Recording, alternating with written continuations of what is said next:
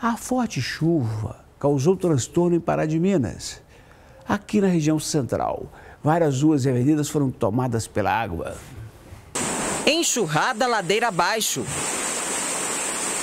Ruas que viram rios. Carros e motos quase encobertos. Alguns motoristas enfrentaram a correnteza e a água alagou parte da antiga rodoviária da cidade. Galera, olha aí, ó, a antiga rodoviária. Comerciantes ficaram ilhados. Alguns se encolheram na calçada esperando a água baixar. A mulher que faz as imagens ironiza a situação. Esse é o nosso Pará de Minas, hein? O temporal foi registrado no início da noite dessa quinta-feira em Pará de Minas, na região central de Minas Gerais. Várias ruas e avenidas ficaram alagadas. Segundo a Defesa Civil, choveu cerca de 30 milímetros. Apesar dos transtornos, não houve feridos. Apenas uma família precisou deixar o imóvel depois que o barranco perto da casa desmoronou.